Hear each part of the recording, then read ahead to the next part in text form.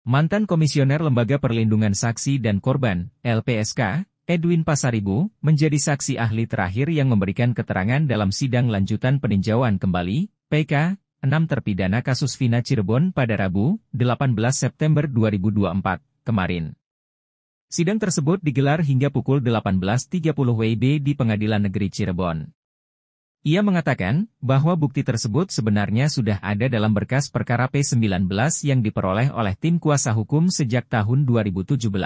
Deputi ekstraksi data HP itu sebenarnya sudah ada dalam berkas perkara, berkas perkara P19 itu diperoleh oleh para kuasa hukum di tahun 2017.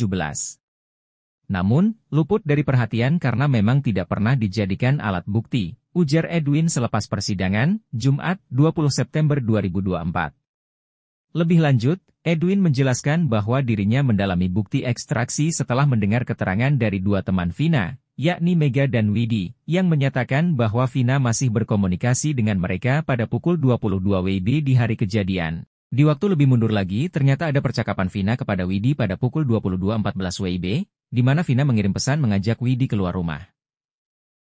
Itu menurut saya yang menggugurkan semua putusan perkara 16 untuk Saka Tatal, perkara 3 dan 4, yang semuanya menyatakan bahwa peristiwa pidana itu terjadi sejak pukul 21.15 WIB, diucapnya.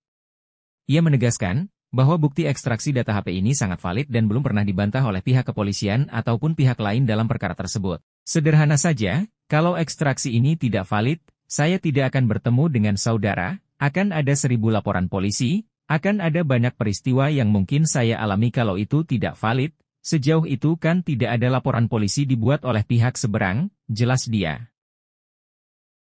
Download Tribun X sekarang. Menghadirkan lokal menjadi Indonesia.